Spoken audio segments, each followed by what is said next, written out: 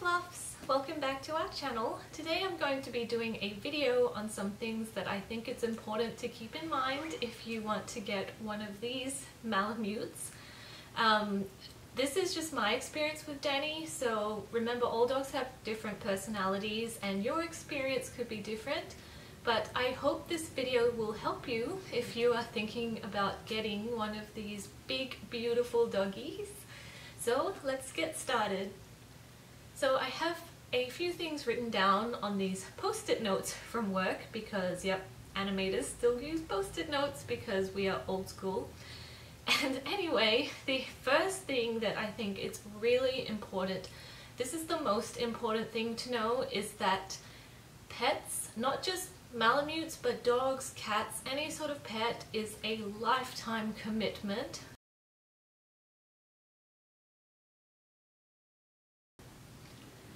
So getting a pet is forever. If you commit to giving a home to your pet, then they deserve your love, attention and care until their dying day. Nothing makes me more sad than when people abandon their pets, um, but it does happen. So if you are thinking of getting a Malamute, then I recommend going to a animal shelter or a Malamute rehoming charity to look for a suitable pet. Um, you don't necessarily have to get a puppy, you could also get an adult dog or a senior dog and give them a great life. So that is the first point that I think it's important to know if you're thinking about getting a Malamute is that they are a lifetime commitment and the second thing I think you should know about Malamutes is their size.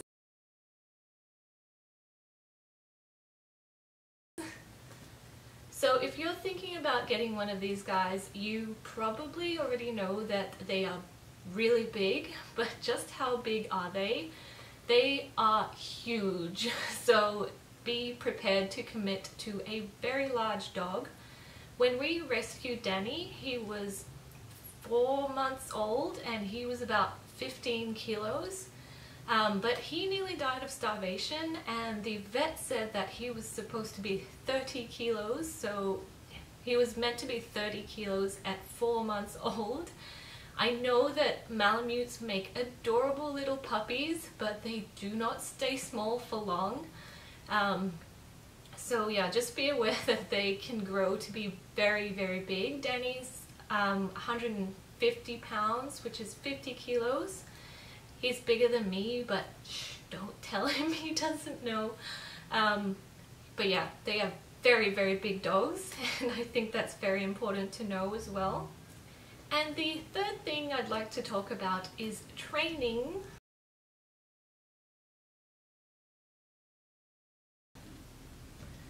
So Malamutes are very intelligent and they can also be quite stubborn and they're very strong so you definitely need to train them properly. Um, people see Danny and they're like, oh my gosh, he's so well behaved, I want to get one like him.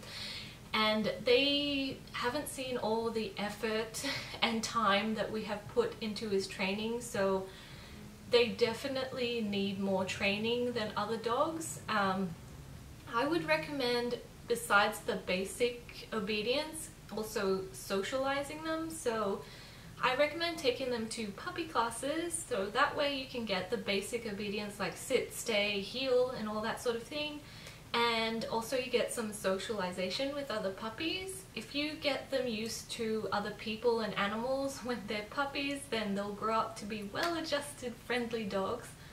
And if you are thinking of getting a puppy, once they have all their vaccinations, take them to the dog park so they can socialize with other doggies. So yeah, that's what I recommend for training because you will need to train them and the next thing I'd like to talk about is howling.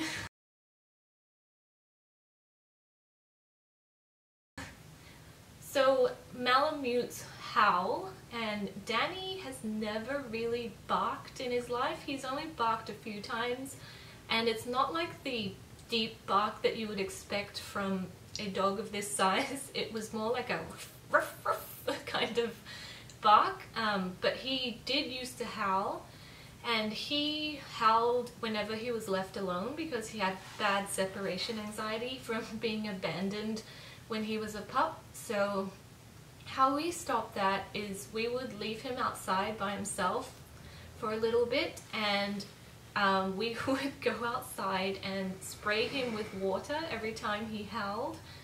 Uh, you guys know he hates water, but it didn't hurt him, so it just got him to stop the behavior that we didn't want.